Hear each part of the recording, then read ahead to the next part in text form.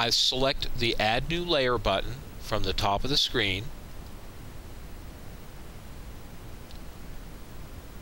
and I begin the new layer with a lockdown that consists of one, two, three, four white buttons. I'll do a very basic underlay of a series of white buttons that are in the absolute center of where the column stitch border will be sewn. Once around, the star should do nicely. Now I'm ready to begin sewing the columns that will make up the outline on this star. And once again, I'm going to select the zoom in tool so I can enlarge the area in which I'm working.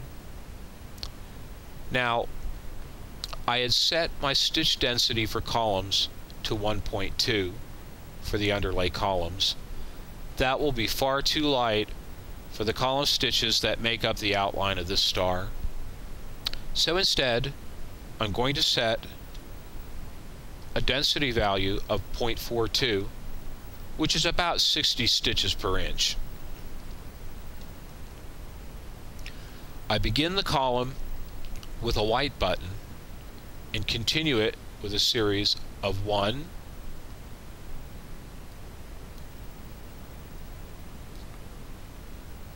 two, three blue buttons. Begin with a white and continue with one, two, three blue buttons. I begin with a white and continue with one, two, three blue buttons. Begin with a white and continue with one, two, three blue buttons. Begin with the white, blue,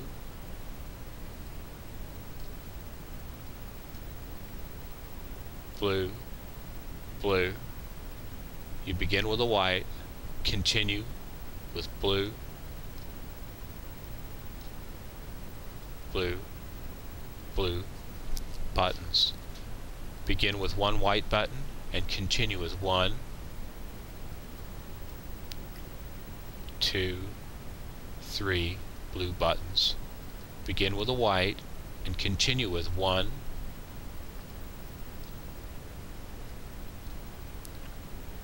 two, three blue buttons. Begin with a white and continue with one, two, three blue buttons. Begin with a white and continue with one, two, three blue buttons. Now that I've finished the column stitch outline for this star, I'll do a basic lockdown of one, two, three white buttons. And you can see that by having just a certain part of your artwork or the design you're working on enlarged, it really allows you to get up close and put these points on the artwork with a degree of precision that saves you editing on down the line. I'm going to select the Zoom to Fit window button and deselect the Artwork tab from the Design View tabs on the side of the screen. Now, I can go to the Tree View area and select the entire design. I'll turn off the Digimouse button since I'm finished digitizing.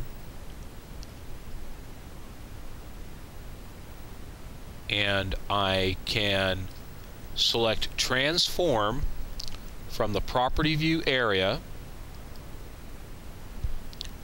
and from there select size and set a size for this star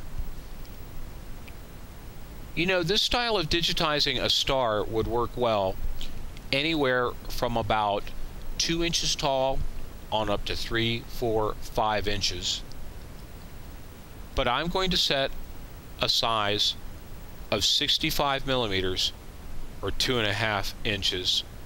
25 millimeters equals one inch. Now to set the colors for this design, I can go back up to the tree view area and select the first layer here. I'll minimize transform in the property view area and I can select appearance double click on the display color and select a nice shade of blue for the inside of this star. If I go back up to the tree view area and select the second layer, I can then set a color for the outline of this star. I'll click once and set a nice shade of red to be the color for the outline of this star. There. You know, there's a couple of things I would like to point out to you before we end this video lesson. If you'll take note, you can see how on the corners of the column outline I digitized the individual column segments so that they don't quite meet. And what it does, it allows the individual column sections to push together as the thread tension drives the ends of those columns out slightly. They'll meet up perfectly in the middle without a lot of bunching up of thread in the corners.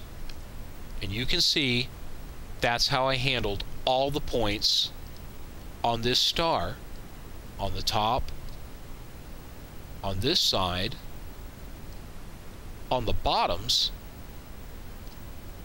and the other side as well.